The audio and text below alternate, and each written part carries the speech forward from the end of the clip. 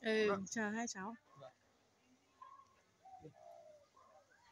Niềm mong ước, mong nước Việt Nam bình an dân đầm ấm, để ngày mùa vơi đi sớm triền miên, mong người già ăn ngủ được bình yên, mong các cháu con ở hiền hiếu thảo, mong càng ngày càng nhiều vị hào tâm, mong các học trò bình an nhiều chữ, mong xã hội không nô đề cá cược, mong vợ chồng không xích mích miệt thị nhau, mong bệnh viện giảm bớt ốm đau, mong cha mẹ về mau con mong nắm.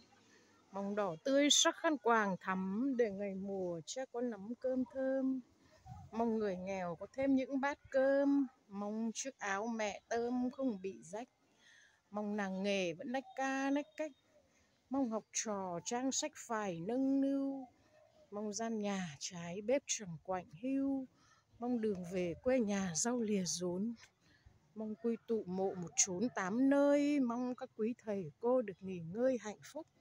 Mong cờ hoa trong ngày quốc khánh, rộn lời ca vang mãi tên người. Mong hừng hực tuổi trẻ U23 bước vững mạnh vào kỷ nguyên rực sáng để giữ vẹn trường ca hùng tráng. Tưởng nhớ công ơn các anh hùng, thương đồng đội những chiến sĩ trung kiên, nhớ về mẹ mắc viền dưng dưng lệ.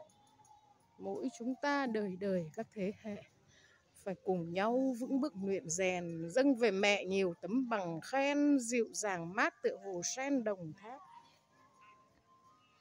nhiều điểm 10 nằm hoa dâng bác, rằng nước Việt Nam vẫn có những người tài, chung một lòng bảo vệ biển Đông mà giữ vững chủ quyền của dân tộc.